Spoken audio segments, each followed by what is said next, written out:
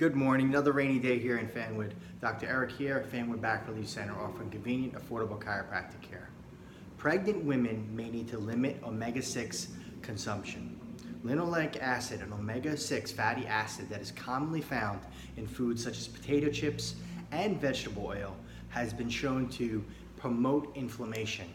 In a new study, researchers observed that when pregnant women consumed three times the recommended intake of linoleic acid, the subjects had higher concentrations of inflammation proteins in their livers, increased circulation of concentration of proteins that can cause contractions of the uterus during pregnancy, and lower levels of hormones that regulate uh, growth and development.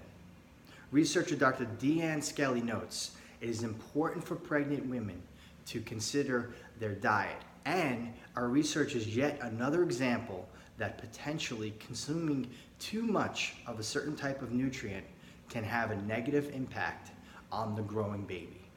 For more information on the study, you can check out the reference in the article on our website at fanwoodbackrelief.com. Uh, if you have any questions, feel free to give us a call. And of course, if you liked the video, please like, like, click like, comment, share. We greatly appreciate your support, and we will talk to you tomorrow. Have a great day.